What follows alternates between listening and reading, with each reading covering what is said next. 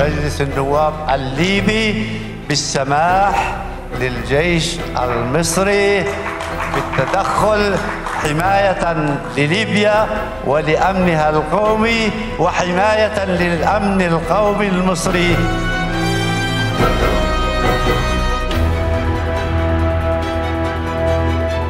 القوات المصرية عندما تدخل ليبيا هيكون شيوخ القبائل على رأس هذه القوات بالعلم الليبي.